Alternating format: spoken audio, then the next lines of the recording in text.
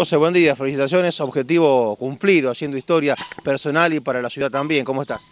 Bien, la verdad que contento, contento de haber podido arribar después de siete Dakar, eh, que era una misión que teníamos de tratar de, arribar.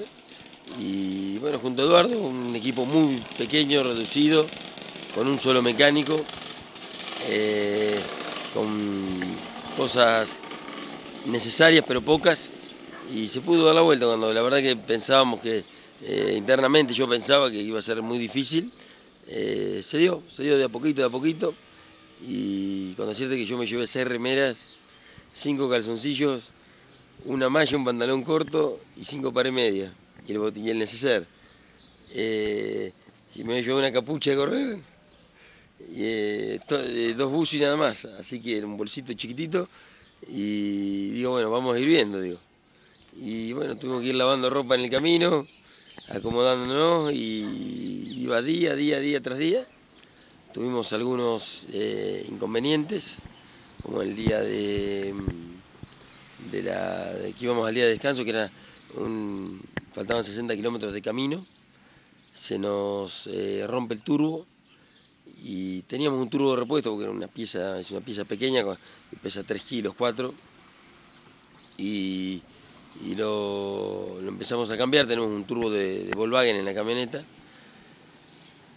Y resulta que no era exactamente igual, era el 95% parecido, pero los agujeros donde, donde iba agarrado el múltiple eran distintos, así que empezamos con la lima, siete horas de lima estuvimos y llegamos al día de descanso tipo 10 de la mañana, después hemos roto dos palieres, que era que era raro, ¿no? porque tenía un golpe la cañonera y se, se, rompían los palieres.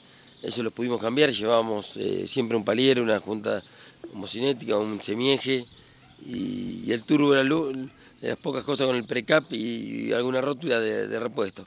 Pero bueno, fuimos eh, zafando de etapa en etapa y la etapa que eh, bueno, más complicado estuvimos fue Fiamalá, que fue la etapa que eh, quedaron como 50 competidores atrapados, se hizo de noche y bueno, tomamos decisiones diferentes. Nosotros éramos un grupo de 6-7 autos, en donde estábamos nosotros, y faltaban 4 o 5 waypoints, y pese a que había autos que estaban más adelante, el problema era el siguiente, que nosotros estábamos en una duna que teníamos una salida a un camino.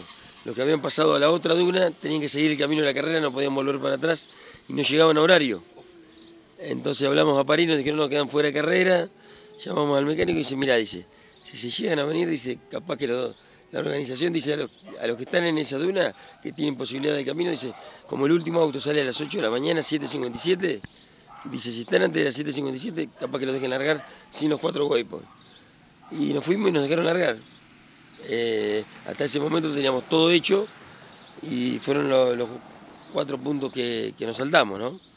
Después tuvimos algunos recargos de, cansancio, de, largar a la mañana más tarde, largar, eh, penalizar por largar tarde, por, porque en 14, 15 noches dormí 28 horas.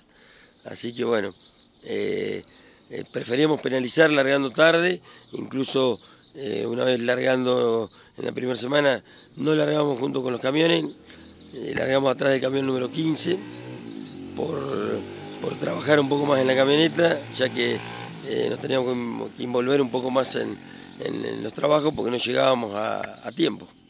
¿Manejaste, manejó él, manejaste vos, compartían la No, no, no, en lo que es competición manejó todo Eduardo, yo le, di una mano con los enlaces, pero fue Eduardo el que manejó toda la, competencia. ¿Así o puede intercalarse en la conducción? No, no, no, cualquiera, cualquiera de los dos puede manejar, pero eh, me ofreció Eduardo manejar eh, dos o tres veces, le dije que no, que estaba bien. Una porque Eduardo no sabe navegar y otra porque Eduardo lo venía haciendo a un ritmo tranquilo, a su ritmo. Y yo no quería cometer un error que eh, toda la inversión que él estaba poniendo, echarla por la borda yo, por decir, manejé un rato que no era eh, lo necesario, claro. Así que nos concentramos en, en la navegación, anduvimos bárbaro y bueno, se fue dando llegar a es todo un objetivo cumplido. Este, aquí hay equipos eh, poderosos que trabajan todo el año, presupuesto, entrenamiento y demás. Este, para ustedes, con todo el esfuerzo que se hace, ya dar la vuelta es eh, más que, cumplido, José Luis. Sí, sí, sí, de este tipo de camioneta, que es una Toyota Hilux estándar, la mecánica. Este año había nada más que cuatro. Y, y dos llegaron, la de Alicia Reina y nosotros.